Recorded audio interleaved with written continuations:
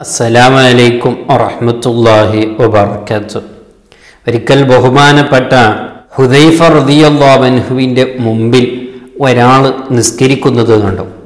അദ്ദേഹം വളരെ ധൃതി പൊടിച്ച് വളരെ പെട്ടെന്ന് പെട്ടെന്നായി നിസ്കാരമൊന്ന് കാട്ടിക്കൂട്ടൽ മാത്രമാണ്. അതിനൊരു തുമാനീനത്തോ ഒരു റുക്കിലൊരു ദിക്കിര് ചെല്ലലോ സുജൂതിലൊരു ദിക്കിര് ചെല്ലലോ അതിനെ സമയമൊന്നും അദ്ദേഹം കണക്കിലെടുക്കാതെ പെട്ടെന്നൊരു നിസ്കാരം അദ്ദേഹം നിസ്കരിച്ചു. അയാളുടെ സലാം വെട്ടി. ഇത് കണ്ടപാടെ ബഹുമാനപ്പെട്ട ഹുദൈഫ റുദിയല്ലാബൻഹിനിക്ക് എന്തോ വിഷമം തോന്നി. എന്തൊരു ഇത്ര ഒരു നല്ലൊരു ചെറുപ്പക്കാരന് ഇത്ര പൊട്ടൊന്നും നിസ്കാരം കഴിച്ചു കൂട്ടുകയോ തീർക്കുകയോ അദ്ദേഹത്തിനൊന്ന് അടുത്ത് ഒന്ന് ഉപദേശിക്കാമെന്ന് തോന്നിക്കൊണ്ട് ബഹുമാനപ്പെട്ട ആ ചെറുപ്പക്കാരൻ അടുത്ത് വിളിച്ചുകൊണ്ട് ബഹുമാനപ്പെട്ടവർ അദ്ദേഹത്തിനോട് ചോദിച്ചു അല്ല മോനെ നീ ഇങ്ങനെ നിസ്കരിക്കാൻ തുടങ്ങിയിട്ട് എത്ര കൊല്ലങ്ങളായി? എത്ര ഈ രീതിയിലാണോ നീ എന്നും നിസ്കരിക്കുന്നത്? അല്ലാതെ ഇന്നു മാത്രമാണോ ഇങ്ങനെ? ഇല്ല ഞാൻ എപ്പോഴും ഇത് തന്നെയാണ്. എന്റെ നിസ്കാരത്തിന്റെ ശൈലി ഇത് തന്നെയാണെന്ന് അദ്ദേഹം പറഞ്ഞു. എത്ര കൊല്ലങ്ങളായി ഇങ്ങനെ നിസ്കരിക്കാൻ തുടങ്ങിയിട്ട് എന്നും ചോദിച്ചു. ബഹുമാന അദ്ദേഹം പറഞ്ഞു ഞാനൊരു നാൽപ്പത് കൊല്ലങ്ങളായി ഇങ്ങനെ നിസ്കരിക്കാൻ തുടങ്ങിയിട്ട് അപ്പോഴാണ് ബഹുമാനപ്പെട്ട ഹുദൈഫ റതിയുള്ളവന് പറഞ്ഞൊരു കാര്യം മാസല്ലയിത്ത മുന്ത് അർബീന സന. നീ നാൽപ്പത് കൊല്ലത്തിന്റെ ശേഷം ഒരിക്കലും നിസ്കരിച്ചിട്ടില്ല. അങ്ങനെ കണക്ക് കൂട്ടിയാൽ മതി. എന്താണ്? നീ ഒരിക്കലും നാൽപ്പത് കൊല്ലത്തിന് ശേഷം നീ നിസ്കരിച്ചിട്ടേ ഇല്ല. വെറുതെ നീ ഞാൻ നിസ്കരിച്ചു എന്നുള്ള ഒരു അവകാശം നീ വാദിക്കാൻ പാടില്ല. ഈ നിസ്കാരമാണോ? ഒരിക്കലും അള്ളാഹു ഈ നിസ്കാരം സ്വീകരിക്കില്ല. ഒരിക്കലും ഈ നിസ്കാരമായിട്ട് അള്ളാഹുവിന്റെ മുമ്പിൽ നീ പോകാൻ നീ തീരുമാനിക്കണ്ട. ഒരിക്കലും അള്ളാഹു സ്വീകരിക്കില്ല നീ ഈ നിസ്കാരം നീ നിസ്കരിച്ചിട്ട് തന്നെയാണോ നീ മരണപ്പെടുന്നത്? സത്യമായ ഗൗരവത്തോട് നീ കേട്ടുമാണ്. ഈ രീതിയിലാണ് നീ മരണപ്പെട്ടു പോകുന്നത്? നീ ഒരു നിസ്കരിക്കാത്തവനെ പോലെ നിന്നെ അള്ളാഹു കണക്കിൽ കൂട്ടിയിട്ട് നാളെ ആഹൃതത്തിൽ നിന്റെ ജീവിതത്തിൽ ഒരു നിസ്കാരം നീ നിസ്കരിച്ചിട്ടില്ല എന്ന രീതിയിലായിരിക്കും നിന്നെ അള്ളാഹു കാണുക നിന്നെ അള്ളാഹു ശിക്ഷിക്കുക. വളരെ ബഹിപ്പെട്ടോ പേടിച്ചോ മോനെ? എന്നെങ്കിലും നീ നന്നായിക്കോ? ഈ രീതിയിൽ നീ നിസ്കരിക്കരുത് എന്ന് ബഹുമാനപ്പെട്ട ഹുദൈഫ റളിയല്ലാഹു ആ ചെറുപ്പക്കാരനോട് പറഞ്ഞപ്പോൾ വല്ലാത്ത പേടി പിടിച്ച് മഹാന്മാരെ വാക്കുകളൊക്കെ ഒറ്റ തവണ അവർ ഉപദേശിച്ചാൽ മതി. എങ്ങനെയുള്ള ആൾക്കാരും അവിടെ നിന്ന് നന്നായി പോകും. അദ്ദേഹം അതിന്റെ ശേഷം അദ്ദേഹത്തിന്റെ നിസ്കാരം നന്നാക്കാനും ഭംഗിയാക്കാനൊക്കെയും അദ്ദേഹം തയ്യാറായി എന്ന് മഹാന്മാർ ചരിത്രത്തിൽ നമ്മെ പഠിപ്പിക്കുന്നത് കാണാം. ഈ ചരിത്രത്തിൽ നിന്ന് ഈ ഉപദേശത്തിൽ നിന്ന് നാം പഠിക്കേണ്ട ഏറ്റവും വലിയൊരു പാഠം നാം നമ്മളോട് തന്നെ ചോദിക്കണം. "ന- എന്റെ നിസ്കാരം എങ്ങനെയാണ്? ഒരു ജമാഅത്തായി നിസ്കരിക്കുന്നതല്ലെങ്കിൽ ഞാൻ ഒറ്റക്കായി നിസ്കരിക്കുന്ന സമയത്ത് അത് ഫറവ് നിസ്കാരം മാത്രമല്ല ഒരു സുന്നത്ത് നിസ്കാരം അടക്കം ഞാൻ ഇങ്ങനെ നിസ്കരിക്കുന്നു. എന്റെ റബ്ബ് ഇത് ഇഷ്ടപ്പെടുന്നു. എന്റെ റബ്ബയ്ക്ക് ഇത് ഇഷ്ടമായിട്ടുണ്ടോ. ഇഷ്ടമാകുന്ന രീതിയിൽ ഞാൻ നിസ്കരിച്ചിട്ടുണ്ടോ എന്ത് ചിന്ത. നാം നമ്മളോട് കൂടെ തന്നെ ചോദിക്കണം. വെറുതെ ഒരു കണക്ക് തീർക്കുക. അള്ളാഹു എന്തോ ഒരു കണക്ക് നമ്മളോട് പറഞ്ഞിട്ടുണ്ട്. അതൊന്ന് കണക്ക് തീർക്കുക. നിസ്കാരമായി എനിക്കൊരു ഉപകാരമില്ല. അള്ളാഹുവിന് എന്തോ ഒരു ഉപകാരം. അതൊന്ന് ചെയ്തു തീർക്കുക എന്ന ശൈലിയിലാണ് പലവരും പലപ്പോഴും നിസ്കരിക്കുന്നത് അതിൽ എന്തില്ല ഫാത്തിഹ ഹരിക്കില്ല അതിൽ വേണ്ട രീതിയിൽ റുഖുവില്ല വേണ്ട രീതിയിൽ സുജൂദില്ല സുജൂദിന്റെ ഫറുന്നുകളൊന്നും അതിലില്ല. പെട്ടെന്ന് ഒരു ഇങ്ങനെ മറിയൽ മാത്രമാണ് നമ്മുടെ നിസ്കാരം. അങ്ങനെ ആയിപ്പോയാൽ ഒരിക്കലും അബോഹിന്റെ മുമ്പിൽ ഈ നിസ്കാരം കൊണ്ട് എനിക്ക് വിജയിക്കാൻ പറ്റുമെന്ന് ഒരിക്കലും നാം ചിന്തിച്ചു പോകരുത്.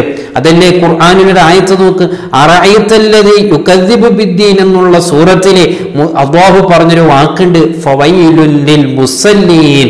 വയലെന്ന നരകം നിസ്കരിക്കുന്നവർക്കാണെന്നാണ്. എന്തൊരു അത്ഭുതം. ഒന്ന് ചിന്തിച്ചു നോക്ക്. അള്ളാഹു തെറ്റി പറഞ്ഞതല്ല. അള്ളാഹു തെറ്റിച്ചു പറഞ്ഞതൊന്നുമല്ല. വയലെന്ന നരകം നിസ്കരിക്കാത്തവർക്കെന്നല്ല നിസ്കരിക്കുന്നവർക്കെന്നാണ്. അതതുകൊണ്ട് മനസ്സിലാക്കണം ഇത്തരക്കാർ നിസ്കരിക്കുന്നവരെക്കാണ് വൈലെന്ന നരകമെന്ന് അള്ളാഹു സൂചിപ്പിച്ചിട്ടുള്ളതെന്ന് നാം വളരെ ഗൗരവത്തോടു കൂടെ ചിന്തിക്കണം. അള്ളാഹു നമ്മെ കാത്തു രക്ഷിക്കട്ടെ.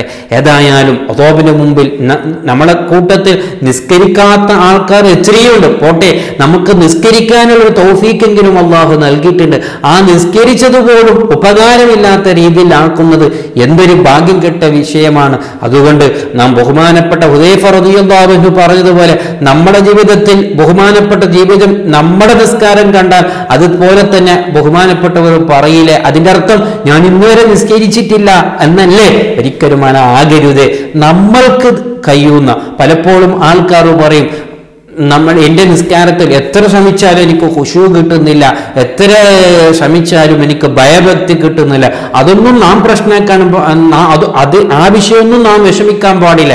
എനിക്ക് ഏത് രീതിയിൽ എത്ര ഉഷാറായിട്ട് എത്ര മട്ടത്തിലായിട്ട് എത്ര ഭംഗിയായിട്ട് എനിക്ക് നിസ്കരിക്കാൻ കഴിയുമോ? ആ രീതിയിൽ ഞാൻ നിസ്കരിക്കാം. അങ്ങനെ നിസ്കരിച്ച് നിസ്കരിച്ച് നിസ്കരിച്ച് ഒരു നല്ലൊരു ശൈലിയിലേക്ക് നല്ലൊരു രീതിയിലേക്ക് അള്ളാഹു നമ്മുടെ നിസ്കാരം എത്തിച്ചു കളയും. അല്ലാതെ നമ്മൾക്ക് തീരുന്ന നമ്മളെ കൊണ്ട് സാധിക്കുന്ന ഒരു ഭംഗിയാക്കൽ അത് നാം ചെയ്യുന്നില്ല. പിന്നെ എങ്ങനെ നമ്മുടെ നിസ്കാരം നന്നാവുക? നമ്മൾക്ക് കഴിയുന്ന രീതിയിൽ ആ നിസ്കാരത്തെ നാം മെച്ചപ്പെടുത്താൻ നോക്കുക. അങ്ങനെ നിസ്കരിച്ച് നിസ്കരിച്ച് നിസ്കരിച്ച് നാം ഇങ്ങനെ കൈകൂടുമ്പോൾ നമ്മുടെ നിസ്കാരത്തിലേക്ക് നല്ലൊരു ബർക്കത്ത് അതിലേക്ക് നല്ലൊരു ശക്തി അള്ളാഹു നൽകും. തിരിച്ചെയാണ് ഖുർആാനിലൊരു ആയത്ത് അള്ളാഹു നമ്മളോട് സൂചിപ്പിച്ചിട്ടുണ്ടല്ലോ നിസ്കാരം എന്നുള്ളത് കൃത്യമായി വേണ്ട രീതിയിൽ ഒരാൾ നിസ്കരിച്ചിട്ടുണ്ടെങ്കിൽ പിന്നെ ഒരിക്കലും ആ നിസ്കാരം അവനെ എല്ലാ തെറ്റിൽ നിന്ന് ആ നിസ്കാരം അവനെ തടയുമെന്നാണ്. അപ്പോൾ നിസ്കാരത്തിന് അത്രമാത്രം ഫവറുണ്ട് പക്ഷേ നാം നിസ്കരിക്കുന്നവരാണ്.